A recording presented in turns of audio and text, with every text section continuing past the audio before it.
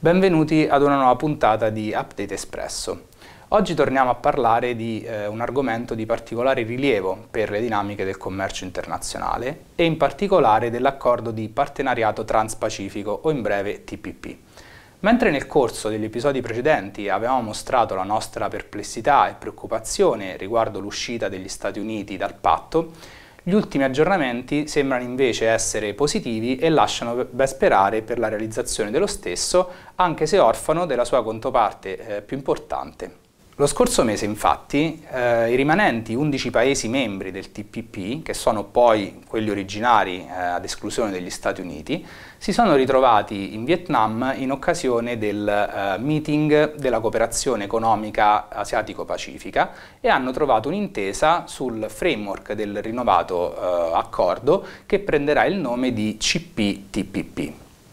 Anche se l'uscita degli Stati Uniti abbia eh, notevolmente ridimensionato la portata economica dell'accordo, il PIL degli 11 Paesi membri rappresenta comunque una fetta importante della produzione eh, mondiale, eh, valendo circa 11 mila miliardi di dollari o il 13,5% del PIL eh, globale. L'intesa raggiunta rappresenta significativi passi in avanti eh, nella liberalizzazione degli scambi commerciali tra le due aree e si stima che l'abbattimento delle barriere doganali riguarderà circa il 95% dei beni scambiati tra i paesi partner. Una maggiore integrazione economica e commerciale tra le due aree è quindi possibile e auspicabile anche in assenza degli Stati Uniti.